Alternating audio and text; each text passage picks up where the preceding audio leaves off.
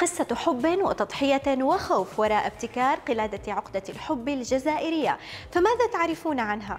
لا تزال هذه القلادة متوارثة بين السيدات الجزائريات حتى يومنا هذا بل وازدادت شهرتها عندما ارتدتها إيفا جرين في فيلم جيمس بوند وترمز القلادة إلى الحب والوفاء الأبدي.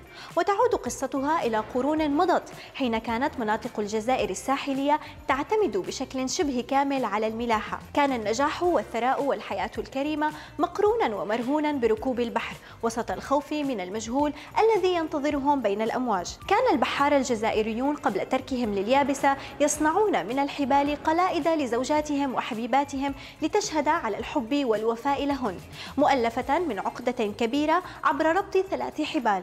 وكلما كانت العقدة محكمة أكثر كلما كان الحب الذي تمثله أكبر.